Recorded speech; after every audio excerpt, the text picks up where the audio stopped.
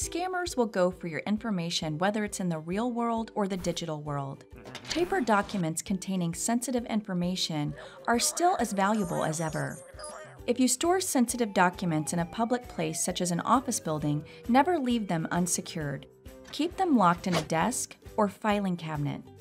Be sure to shred any unwanted documents, including sensitive information such as account numbers or personal identification. Wait until they are finished shredding before walking away. It's just as important to practice these tips while at home to better ensure your personal identity is safe.